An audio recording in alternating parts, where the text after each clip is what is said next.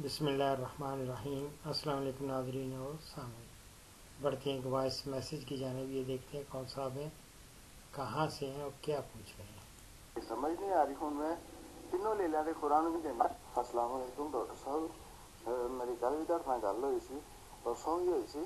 तो कल भी परसों तुम दस कि बकरा थोड़ा ना पैर लंगड़ा के टुरता पाया। हम्म। दो बकरिया के खुर बनवाए थी तुम दसिया मैं।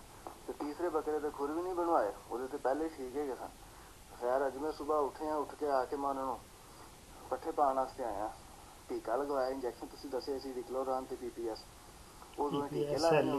ਤੇ ਐਵੇਂ ਉਹ ਤੀ- ਦੂਸਰੇ ਦੋਵੇਂ ਲੈ ਲੈ ਲੰਗੜਾਉਂਦੇ ਹੀ ਨਹੀਂ ਪਏ। ਬਿਲਕੁਲ ਠੀਕ ਤੇ ਇੱਕ ਲੇਲਾ ਮੈਨੂੰ ਮਹਿਸੂਸ ਹੋਇਆ ਕਿ ਜਿਵੇਂ ਨਾ ਹਲਕਾ ਫੁਲਕਾ ਦਰਦ ਜਾਂ ਹਲਕਾ ਫੁਲਕਾ ਆਪਣੀ ਆਮ ਰੁਟੀਨ ਤੋਂ ਹਟ ਕੇ ਚੱਲਦਾ ਪਿਆ।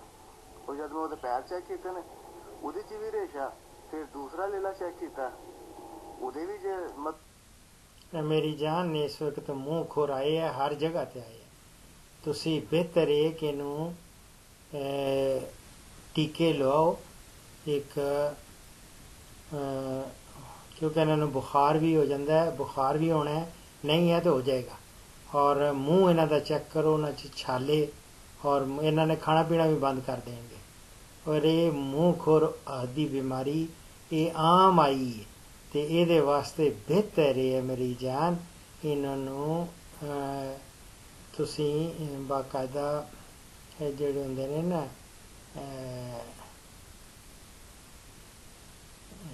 ਕੀਟੋ ਪੀ ਕੀਟੋ ਪ੍ਰੋਫਿਨ ਦੇ ਟੀਕੇ ਹੁੰਦੇ ਨੇ ਉਹ ਇਹਨਾਂ ਨੂੰ 5-5 ਸੀਸੀ ਦੇ ਜਾਂ 4-4 ਸੀਸੀ ਦੇ 4-4 ਦੇ ਲੱਗਣਗੇ ਕ- ਕੀਟੋ ਪੀ ਦੇ। 4-4 ਸੀਸੀ ਦੇ ਉਹ ਟੀਕੇ ਲਾ ਲਓ ਇਹਨਾਂ ਨੂੰ ਤੇ ਨਾਲ ਹੀ ਇਹਨਾਂ ਨੂੰ ਨਾਵਾਸੀਨ ਐਲਏ ਜਾਂ ਆਕਸੀ ਟੈਟਰਾਸਾਈਕਲਿਨ ਦੇ 5-5 ਸੀਸੀ ਦੇ ਉਹ ਵੀ ਲਾਓ।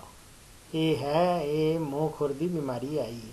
ਔਰ ਇਹਨਾਂ ਦਾ ਮੂੰਹ ਚੈੱਕ ਕਰੋ, ਇਹਨਾਂ ਦੇ ਮੂੰਹ ਦੇ ਵਿੱਚ ਛਾਲੇ ਹੁੰਦੇ ਨੇ, ਇਹਨਾਂ ਨੂੰ ਬਾਕਾਇਦਾ ਗਲੈਸਰੀਨ ਲਾਓ ਔਰ ਜਿਹੜੇ ਨੇ ਨਾ ਖੁਰ ਖੁਰ ਇਹਨਾਂ ਦੇ ਚੱਲਣਾ ਮੁਸ਼ਕਲ ਹੋ ਜਾਂਦਾ ਹੈ, ਉਹਦੇ ਪੀਪ ਪੈ ਜਾਂਦੀ ਹੈ, ਉਹਦੇ 'ਚ ਛਾਲੇ ਹੋ ਜਾਂਦੇ ਨੇ।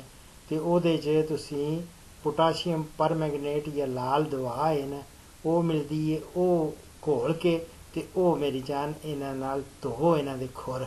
ਚੰਗੀ ਤਰ੍ਹਾਂ। ਸਵੇਰ ਦੁਪਹਿਰ, ਸ਼ਾਮ। ਇਨਸ਼ਾਅੱਲਾ ਠੀਕ ਹੋ ਜਾਣਗੇ। ਔਰ ਇਹਨਾਂ ਨੂੰ ਨਰਮ ਪੱਤੇ ਪਾਓ, ਨਰਮ ਗਜ਼ਾ ਪਾਓ। ਇਹਨਾਂ ਨੂੰ ਪੋਸ਼ੋ ਬੰਦ ਕਰ ਦਿਓ ਇਹ ਫਿਲਹਾਲ। ਥੋੜਾ ਜਿਹਾ ਪਾਣੀ ਵੀ ਤੇ ਖਾਲੀ ਮਿਕਸ ਕਰਕੇ ਤਾਂ ਕਿ ਪਾਰਾ ਵੀ ਨਾ ਹੋਵੇ। ਲੇਕਿਨ ਇਹ ਕਿ ਹਲਕਾ ਫੁਲਕਾ ਇਹਨਾਂ ਨੂੰ और ये खिलाओ, अल्लाह फजल करेगा, दुआ भी करांगा ठीक हो जाना अल्लाह अकबर कबीर। आगे जी, बढ़ते हैं, ये तो हो गया बकरों को भी।